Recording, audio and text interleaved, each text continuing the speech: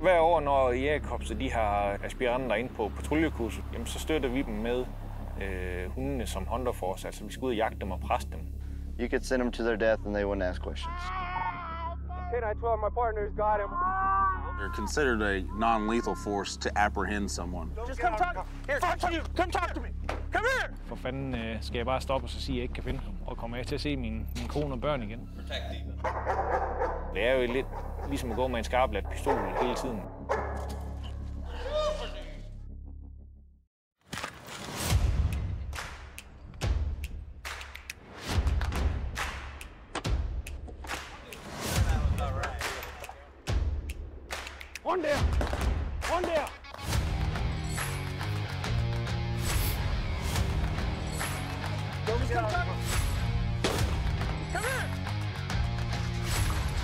Good boy.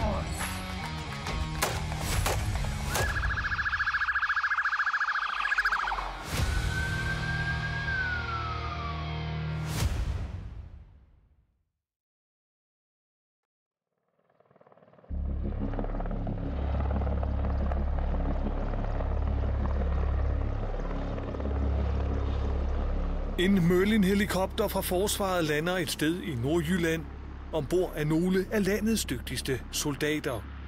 Specialstyrken Jægerkorpset er i gang med dette års optagelsesforløb, og blandt patruljesoldaterne, der strømmer ud af helikopteren, skal korpset finde den eller de aspiranter, der er dygtige nok til en fremtid i den højt specialiserede enhed. Soldaterne, der forsvinder ind i mørket, har denne nat bare et enkelt problem. Hunden Boss og dens fører Jesper Andersen er på sporet af dem. Jeg hedder Jesper Andersen. Jeg er øh, 42 år gammel og arbejder til daglig øh, som hundefører i, i forsvaret. Øh, Udover det, så har jeg det her firma, der hedder KNI Life Danmark, hvor øh, jeg træner hunde til politiet i USA. Øh, civilt er jeg gift med Katarina, som er veterinærsygeplejerske, som jo passer rigtig godt med det, vi laver med hundene. Øh, hun er også en stor del af firmaet. Øh, og så har jeg to piger, øh, Emilie på øh, 15 og Josefine på 11. Det er alt det her bideudstyr, vi skal bruge i dag. Øh, bidedragt og så øh, nogle, nogle skjulte ærmer. Og så et, øh, et synligt ærme. Øh, så, så er vi dækket ind med alt det, vi skal bruge i dag. Jesper Andersens firma K9 Life Danmark har specialiseret sig i at lave tjenestehunde til blandt andet politienheder i USA. I dag skal han til Horsens for at træne på Hovedgård Skole. Hunde, der skal arbejde i USA, har nemlig en høj risiko for at blive indsat ved de såkaldte skoleskyderier. Derfor er det vigtigt, at hunden Uno, som Jesper skal aflevere til en vicesheriff i Alabama senere på måneden, er vant til at arbejde på en skole. Så, kom. kom. En ting er, at de kan, kan bide ud på en græsplæne, som de er vant til at have gjort 100 gange før. Så er han klar. Men, men nu forlanger vi også, at det skal, de kan gøre det inde på en skole. Og så, så dur det jo ikke, at jeg bruger en masse tid på en hund, øh, og så kommer han derover, og så finder de ud af, at der er en eller anden ting her, som han skal kunne, som han aldrig har prøvet før, og vi kan ikke få ham til det. Jamen, så ringer de til mig og siger, Jesper, vi kan ikke bruge den her hund, du skal tage den tilbage. Og så er vi måske spildt et år. Udover Uno har Jesper Andersen en række andre hunde med til dagens træning. Blandt andet hans militære tjenestehund Boss og valpen Bøner, der allerede har startet træningen til amerikansk politihund i en alder af bare tre måneder. Han er jo den første rigtige valg, vi har på den måde her. Øh, Uno var ni måneder, da vi fik ham. Vi har haft bønder, siden han var otte uger. Øh, og, og nu, nu sover han da også imellem os i sengen, øh, så, så det bliver hårdt at skære med ham. Det gør det virkelig. Øh, det, det, vi kan godt stå og sige nu, at det, det, det bliver hårdt til den tid, men, men jeg tror ikke, det bliver uden tårer for nogen af os øh, at, at skal aflevere ham.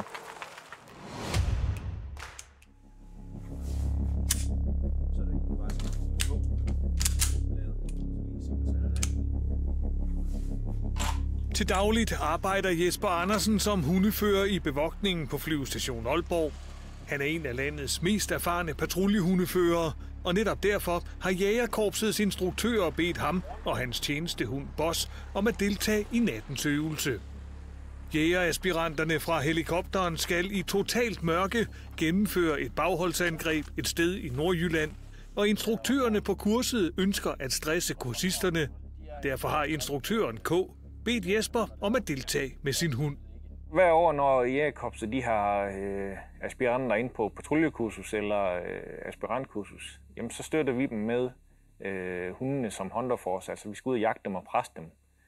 Sådan at øh, de har nogle opgaver, de skal løses, men samtidig så er der en, en hund efter dem, og det presser dem jo yder, yderligere psykologisk, at, at, at det aspekt også er med. De lander ud tæt på det lægbælte her. Ja. Du har selv timing på, når det sådan, ud af høre helikopteren, når det letter. Ja. Du holder dig inde her.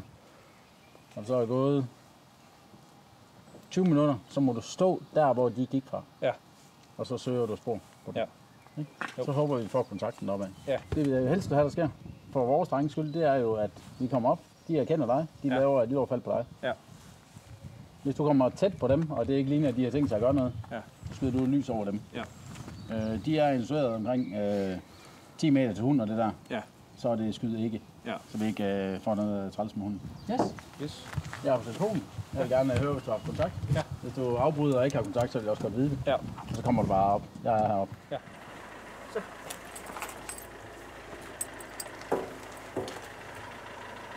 Øvelser i mørke er en vigtig del af uddannelsen af patruljehunde, uanset om de skal jagte jægersoldater i Danmark eller forbrydere i USA. I modsætning til danske betjente, så kører amerikanske politifolk patrulje alene i deres politibiler. Derfor er hundens evne til også at arbejde i mørke essentiel. Amerikanske politihunde bruges i langt højere grad til angreb og selvforsvar, end man gør i Danmark.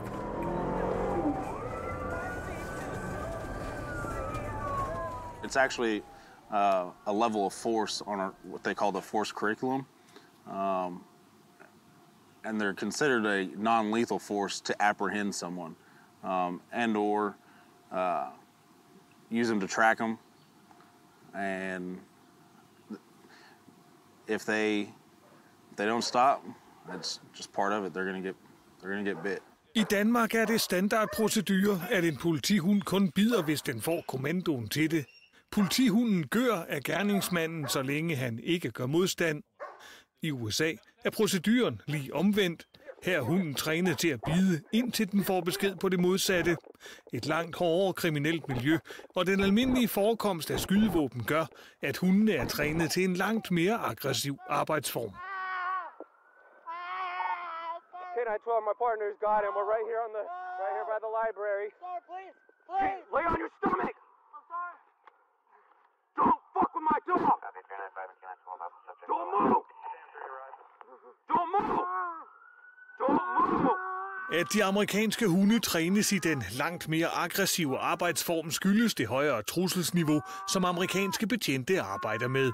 Vi træner jo hundene til, at, at de kan bide alle steder på nær øh, hænder, fødder og ansigt øh, som, som udgangspunkt. At Hvis, hvis man så selvfølgelig får bevæget sig på en forkert måde, så, så er ikke dermed sagt, at de ikke kan få fat i den ene eller den anden del.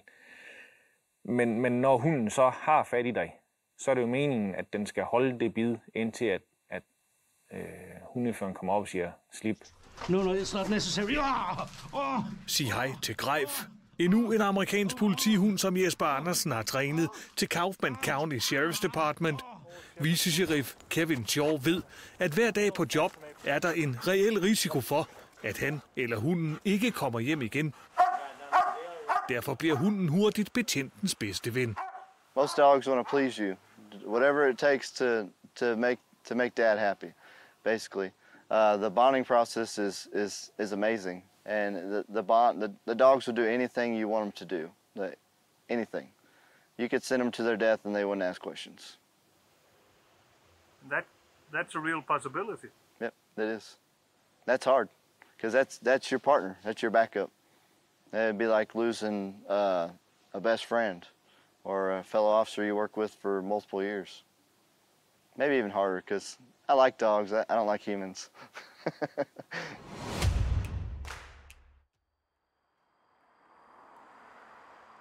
Da amerikanske betjente oftest kører alene i bilerne, har mange fået installeret en fjernbetjening, der på afstand kan åbne døren ind til hunden. På den måde kan betjenten tilkalde hunden, hvis han kommer i problemer uden for bilen.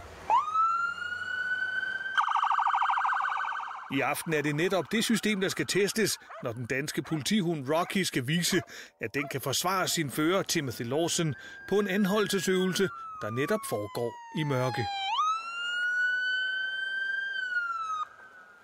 Hey, come over here and talk to me real quick.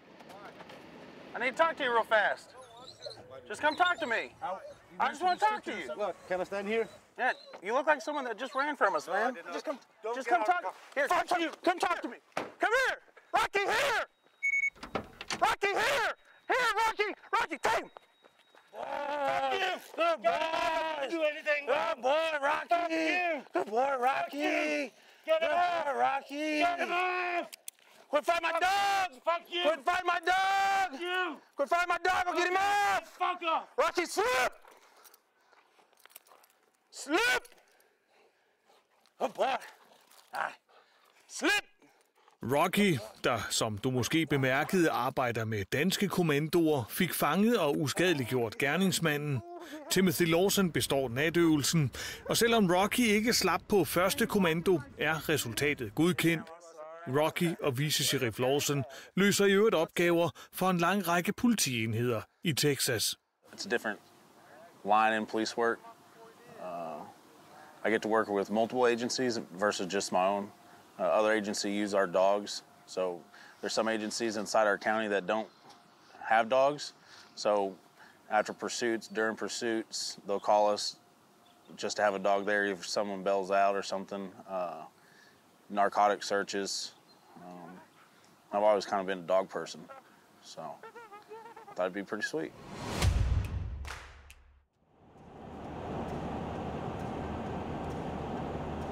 På Hovedgård skole ved Horsens er dagens primære fokus for Jesper Andersen at træne den belgiske Malanois Uno, der om få dage skal afleveres til sin kommende hundefører i USA.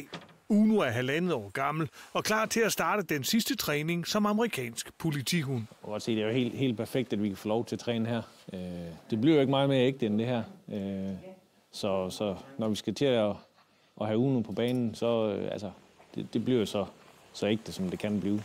På skolen mødes Jesper Andersen med en række andre hundeførere fra hele landet, blandt andet Dennis Riber, der rejser med, når Uno om få dage skal afsted til USA. Jamen, Dennis Riber er en, en, en rigtig god kammerat, øh, jeg egentlig har mødt igennem øh, et, et, et privat vagtfirma herhjemme. Øh, samme øh, passion for at træne hund, som jeg selv.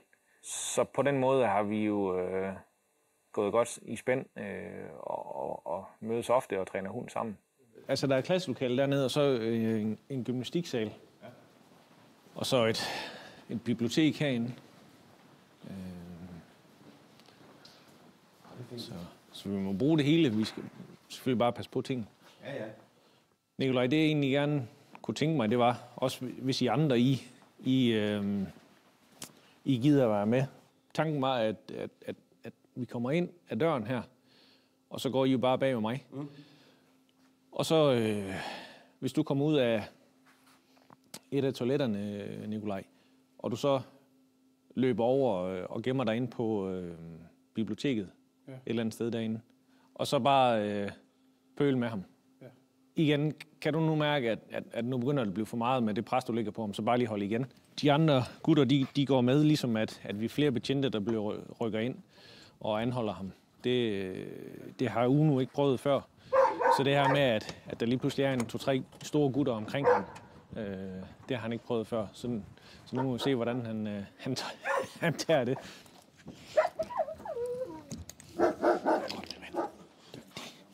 Uno, kom.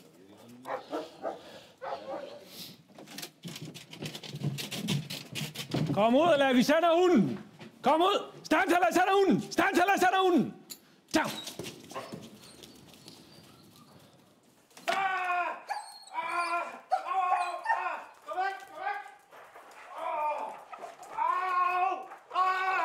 Pis, hun, gå nu væk! Åh, hvor gør det ondt! Gå væk med dig! Læg dig ned! Læg dig ned! Læg dig ned! Læg dig ned! Læg dig ned! Super, drengen. Har I styr på ham? Ja, vi har styr på ham. Out.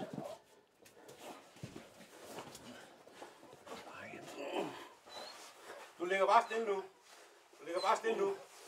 Ja, jeg er utrolig glad for den måde, han, øh, han taklede det hele på. Det var godt, min dreng. Dygtig. Ja, flot. Ikke også? Og skider ikke. Ja. Dygtig. Dygtig dreng. Der er, jo, der er jo rigtig mange lokaler ned ad den her lange gang. Så der er mange valgmuligheder. Man kan se, lige snart han, han kom ind der, hvor banditten var løbet ind, der, der, der klodser han jo bremsen og glider hen ad gulvet for at komme ind i det rum, han er løbet ind i. Øh, fordi der er mange hunde, de kan godt blive forvirret, at, at der lige pludselig er så mange valgmuligheder. Men at han vælger det, det rigtige rum først, er jeg super glad.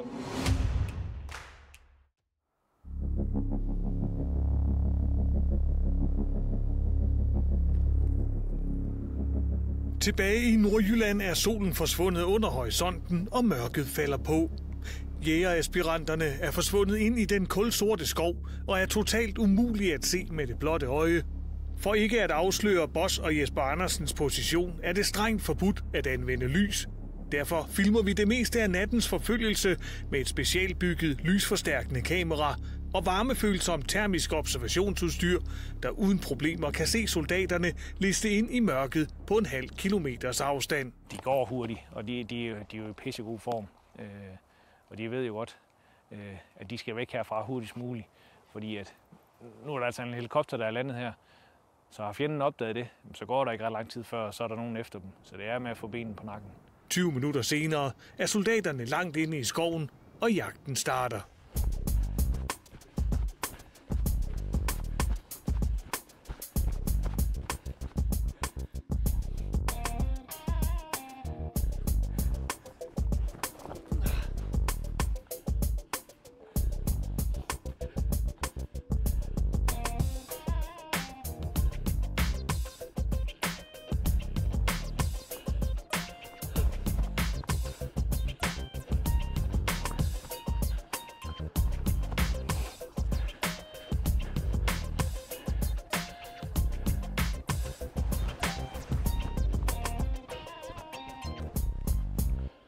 Jægerkorpsets instruktører har sat en grænse for, hvor langt Boss må jagte aspiranterne. Da Jesper Andersen og hunden når dertil, er soldaterne allerede over alle bjerge. I totalt mørke har de bevæget sig videre frem mod området, hvor de senere skal gennemføre et bagholdsangreb. Typisk så er det jo ikke hunden, de snyder, men det er hundeføren. Øh, fordi, jamen, gider han nu ikke igennem det her vandløb, øh, fordi han skal være våd resten af natten, eller tror, stoler han simpelthen ikke på hunden med, at de har gjort det her. Øh, så, så det er ikke typisk, er det ikke hunden, de snyder, det, det, det er hundeføren, der gør, at, at opgaven ikke bliver løst. Jesper og Boss må liste tilbage til bilen i mørket og evaluere jagten. Tankerne går denne nat mod USA, hvor en af de politihunde Jesper har trænet mistede livet under netop en jagt på en flygtende gerningsmand. Hunden Exo betalte den højeste pris, da den blev skudt i forsøget på at beskytte sin fører, narkobetjenten James Prysock. Nu ved vi jo, at, at det er bare øvelser. De skyder mig løs, men når man går spor på den her måde, og man ved, der er nogen i den anden ende, så, så kan man ikke lade være med at tænke på James med Exo. Det kan jeg ikke lade være med at tænke på, om, om, om jeg vil kunne holde hovedet koldt i sådan en situation, og så have fokus på opgaven. Eller man vil gå der og egentlig lige klemme ballerne lidt sammen, og så tænke, for fanden, øh, skal jeg bare stoppe og så sige, at jeg ikke kan finde ham? Øh, jeg ville da tænke, øh, hold da kæft, ligger han rundt om det næste hjørne her, og, og, og kommer jeg til at se min, min kone og børn igen? Når Uno skal afleveres i USA om få dage, håber Jesper Andersen på at møde narkobetjenten James Prysock og få den fulde historie om skudepisoden, hvor hunden Exo reddede hans liv. Samtidig håber han på at få svar på, hvordan Exo døde, og måske blive klogere på, om der er noget i træningen af hundene, der kan forbedres i fremtiden. Kan man komme ind, uden man bliver bit? Hvad det hedder, øh, på et tidspunkt så mister han sporet. Og der er jeg egentlig lidt for bange for, at vi er for tæt på overvågningslinjen, så vi, så vi begynder at gå tilbage mod, øh, mod bilen. Øh, men jeg kan sende dig på kortet, hvor... Øh, eller vise dig, hvis du vil, hvilken vej vi har gået. Hvornår var vi øh, trillet derhen af K? 0030, der laver vi planen. Ja. Cirka. Okay. Og så, øh, det kommer først til at være efter to forventeligt, at, øh, at afholdet det kører. Ja. Det skulle i orden, K. Yes. Jamen, øh, vi ses senere. Hej.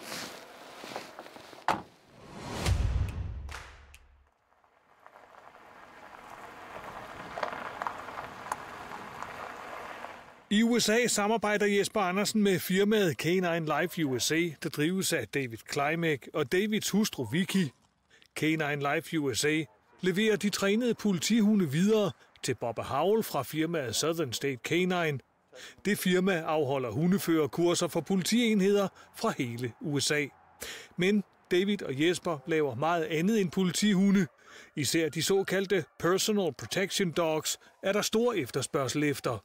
I just had bought a dog for my daughter that was from Germany that was already trained as a, a personal protection dog because she was a uh, a runner, a long distance runner, and uh, I bought one to go with hers because I could not always be home, you know, to, to make sure she was safe when she's running distances. I started playing with him, and she was like, "Daddy, you bought him for me. You bought him for me." So I went and bought a imported a puppy from Germany. Uh, and started training it myself and going to different seminars and learning, you know, from other trainers and and it just started we started doing really good at the competition so people started asking us to train their dogs and and so I started training a couple that I would buy just to sell as personal protection dogs to people and um, to friends and that that were looking for the same type of dog for their kids. Cheferen her er en af de personal protection dogs, som David Klimek træner i øjeblikket. Diva, som hunden hedder, har også en fortid hos Jesper Andersens firma i Danmark. Jeg havde hende med her over for et år siden, og det er egentlig en dame øh, nede i Texas, der skal have hende. Men, men hun vil gerne have nogle, noget ekstra træning øh, på hende.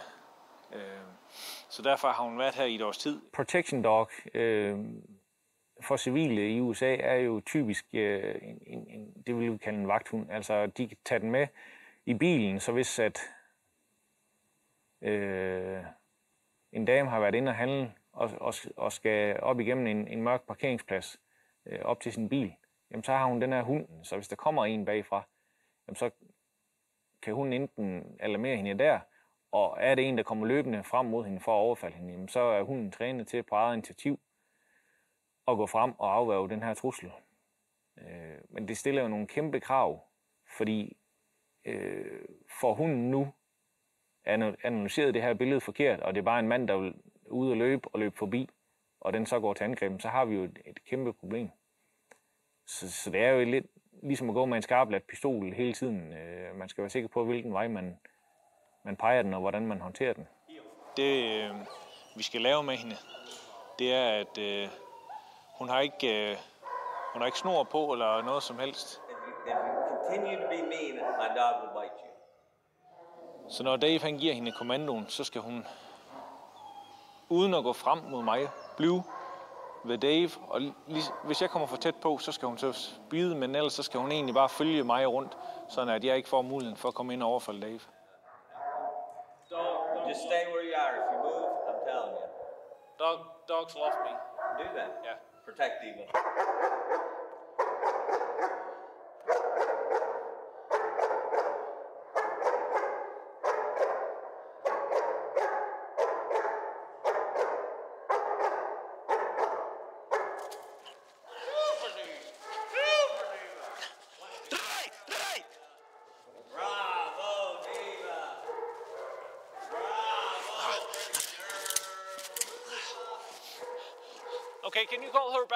This sucks.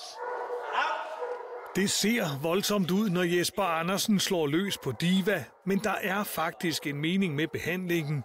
Intet er tilfældigt, og her er der igen tale om såkaldt miljøtræning. Det kan jo godt se drabeligt ud for, for, for folk, der ikke ved, hvad, hvad det her det går ud på. Det er jo bare en bambuspind, der, der er flettet for at lave noget lyd. Sådan at hunden ikke bliver bange over, at der er noget lyd, og den bliver slået. Altså, slået, det, det gør jo ikke ondt, det her. Øh, og især altså med politi, politihundene, der er, det, der er det vigtigt, at de kan tåle at slås med en person, uden at de bliver bange for det.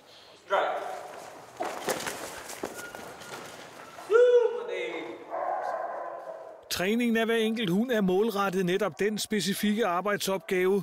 For Diva er det at beskytte sin ejer. Uno skal arbejde som politihund. David Kleimek har i øjeblikket 30 hunde i kennel, og en række af dem trænes til helt andre formål. We also do obedience training for people. So some dogs come here just to be trained to be more obedient. And we do some competition dogs for people where they want to go do the sport dog side of it. So where they, there is bite work and tracking and those types of things involved in some of the sports. So we do the training for them so that they can take the dog and then go, you know, do the competitions with it. So I like Malinois. she's so pretty. You don't like her? Well, I don't want a pretty dog. I want a dog that can protect me and look badass. Well, she'll protect me. No, she won't. You don't think so? I promise you, if you come after me right now, she will bite your ass. You want to test it? Any day. Fuck you!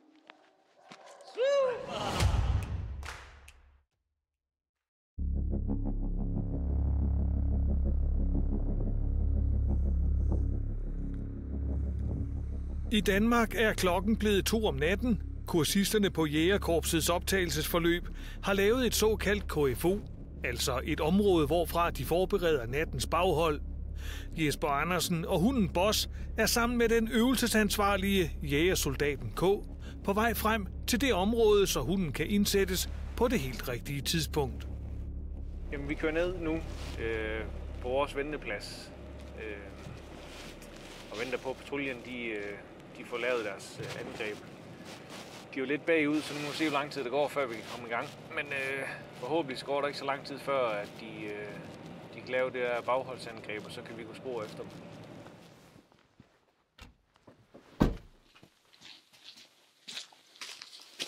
Godt, Jesper. Ja. Øh, der er cirka 200 meter hen til bagstrækningen herfra. Okay. Så jeg går derhen nu. Ja. Når det er sådan, at øh, du hører angrebet, det er blevet værksat, Ja. Så kommer de jo frem og rydder målet. Ja. Så sætter de ladninger på. Så Ja. når I hører, der går springninger igen, det kommer til at gå cirka 5 minutter efter det første bullerbrag, jeg har hørt. Okay. Når det er gået, Ja. et kvarter efter det, Yes. der står du henne ved køretøjen derhen. Ja. Så er jeg derhen. Okay. Og så må I gå på der. Så går I på sporet Ja. af patruljen der. Ja. Og så ser vi, om vi kan nå at nappe dem op i skoven. Yes. Og give en øh, ekstra chance. Ja. Så ikke vi kan skabe kontakt. Ja, ja nemlig. Yes. Inde midt i plantagen er natten vidderligt kulsort, og kun stjernehimlen gør det muligt bare at fornemme terræn og personer. Slukker vi natkameraet, ser himlen sådan her ud, og i skoven nedenfor kan man ikke se 10 cm frem. Lys er stadig forbudt, så vi tænder udstyret igen, mens Jesper og Boss venter på de to brag, der indikerer, at soldaterne har sprængt kolonnen af lastbiler i luften. Skal vi ikke begynde at trække lige så stille ned, altså? Efter de første skud rykker Jesper Andersen og Boss ud på vejen. Kort efter gennemfører soldaterne fase 2 af bagholdet. Kom, kom, kom. kom. 12 minutter senere er hundepatruljen på vej mod bagholdsstrækningen, hvor de ødelagte køretøjers blinklys gør alt, hvad de kan for at ødelægge nattesynet. Instruktøren K. venter som aftalt med de sidste instrukser. Det er kun 5 minutter, Okay. så du kommer til at ramme nogle tidligt. Okay. Skal vi bare begynde at gå nu, K, eller skal vi vente lidt? Så det sådan, du er tæt på, så kunne jeg egentlig godt tænke mig, er, han, øh, er der lyd på ham? Ja, det kan jeg godt få. Jeg kunne egentlig godt tænke, når du kommer tæt på ham, så kunne jeg godt tænke mig at få lyd på ham. Ja.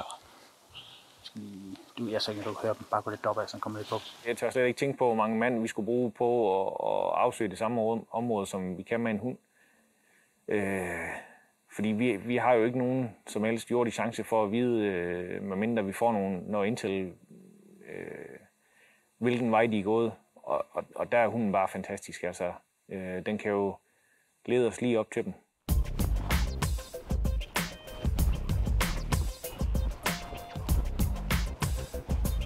Jagten går ind, og kort efter er der bid. Patruljesoldaterne er trukket tilbage til deres forberedelsesområde med en såret kollega, og da Boss markerer, at han har fundet sit bytte, åbner soldaterne ild. Rund der!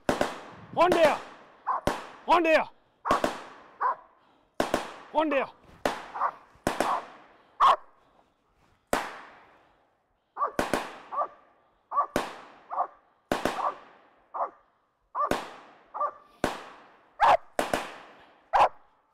Yes. Da soldaterne nu er opdaget, skal Jesper skræmme dem på flugt.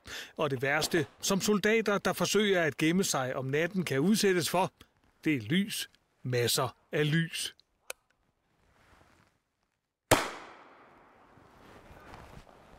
Men da vi kommer op ad bakken, øh, går vi egentlig ikke ret langt, før vi kommer til et skovstykke, hvor de, de er i gang med at behandle den såret og få øh, styr på stumperne, inden de skal videre.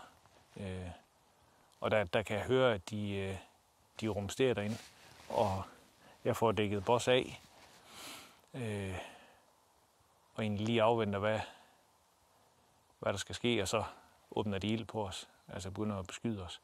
Øh, får ham lige til at gø, for at stresse dem, og så trækker vi tilbage i skjul, og så skyder vi noget hvid lys, øh, for, for at stresse dem endnu mere. Øh, og da vi kan høre, at de er ved at begynde at, at være væk, så trækker vi os tilbage. Nu øh, skulle vi ikke stresse dem yderligere. Har vi ikke haft hunden med, så har vi ikke fundet dem så hurtigt, øh, hvis vi overhovedet har fundet dem. Øh, så der viser han jo virkelig sit værd. Øh, og så det her med, at der er en hund, der lige pludselig er efter dig. Øh, det, det, det, det er stressen i sig selv. Altså, øh, de, ved, de ved jo ikke, at nu stopper vi med at jagte dem. Øh, de tror stadig, vi er efter dem.